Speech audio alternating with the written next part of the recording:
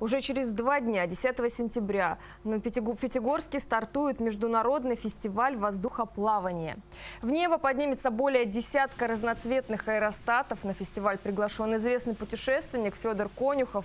Из его рук победитель получит традиционный кубок и большой перстень воздухоплавателя из белого золота с рубиновой вставкой и нанесением горячей эмали. Нашу страну представят аэронавты Северо-Кавказского федерального округа, Крыма, Московской области и Краснодарского края. И один из них сегодня у нас в студии руководитель Федерации спортивного воздухоплавания Краснодарского края «Аэрокубань», участник авиационного биатлона Владимир Буневич. Владимир, добрый день. Спасибо, что пришли к нам сегодня. Здравствуйте. Как давно вы занимаетесь воздухоплаванием и что это для вас? Профессия, спорт, хобби или, может быть, что-то совершенно другое? Это больше, наверное, спорт. Точнее, это правильнее было бы сказать, это уже, наверное, образ жизни. Когда э, утром просыпаешься, смотришь погоду, подходит, не подходит погода для полета. В любом случае, собирался лететь, не собирался, прежде всего смотришь погоду. Вот Мгм. это уже скорее образ жизни становится. А когда воздухоплавание в вашу жизнь пришло? Лет в 17, а профессионально уже лет 5. Ну, как это было в первый раз? Первый Почему раз это было... решились на это? За ш- Увидел, сидя за школьной партой, просто пролетал воздушный шар за окошком. Безумно красиво, красиво и фантастически вот показалось тогда. А потом хотелось, и нашел ребят, кто летал. Сначала бегал с ними, ездил, был в экипаже, и после, уже как, получается, пять лет, да, занимаюсь этим профессионально. Сложно ли было освоить это?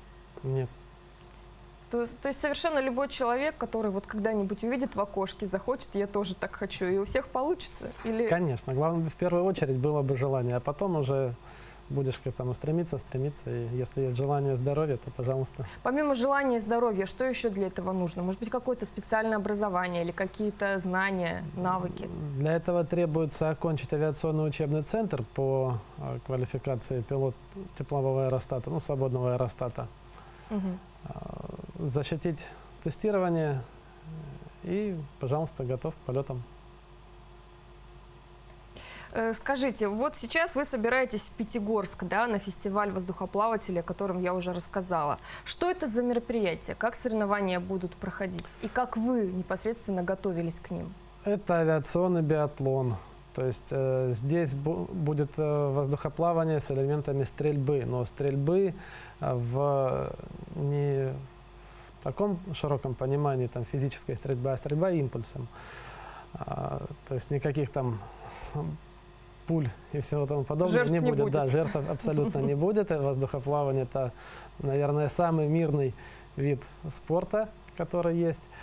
А, Задания следующие будут выкладываться. Прохож- Точность прохождения определенных маршрутов, построение этих маршрутов, э, в- физические цели, например, будет выкладываться крест в поле, где пилот должен будет сбросить в центр креста мешочек с песком с определенной высоты или же наоборот подойти как можно ближе. Предварительные задания уже были объявлены на сайте Федерации Ста- Ставропольской Федерации воздухоплавания. Мгм. Это и проход э, там возле храма, как можно ближе к храму подойти. Ну вот подобного рода.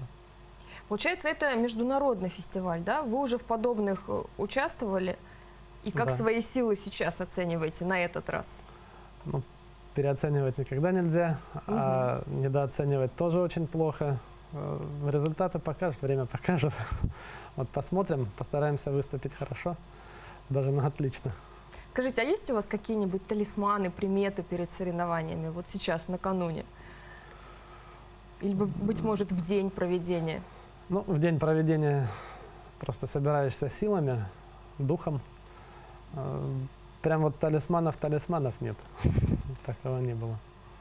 Ну, Разве хорошо. что маечка в одной и той же майке летает. Давайте постоянно. так, я желаю вам и наши телезрители успехов, обязательно, чтобы это было самое-самое-самое высокое место, и пусть действительно не подведет вас удача, пусть даже и без талисмана. Ну, Благодарю, я напомню, спасибо. что в студии у нас сегодня был руководитель Федерации спортивного воздухоплавания Краснодарского края «Аэрокубань», участник авиационного биатлона Владимир Буневич.